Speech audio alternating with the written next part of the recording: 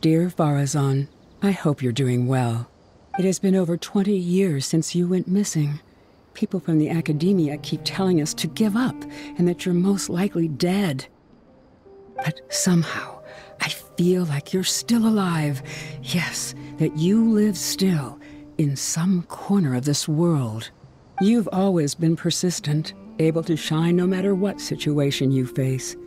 I believe that this persistence serves you well in surviving and finding your way home. Unfortunately, I likely won't be able to welcome you home when you do. I don't have much time left, and my reflexes have slowed. Others keep telling me to stop exploring ruins. Only Tamimi is still the same as before, always running off to places which you've been to. Your teacher and friends came up with an idea to remodel Tamimi so it can search for you in our place. You didn't like coming home back then and would always get Tamimi to send a letter back.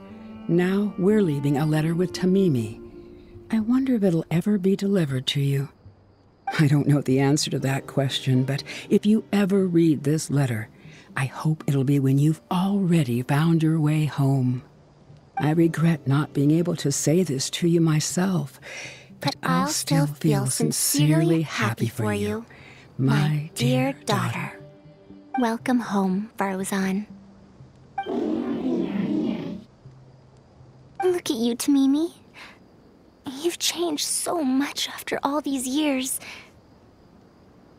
Thank you for waiting for me all this time. I've safely received the letters. Your work is done now. You can sleep. Long.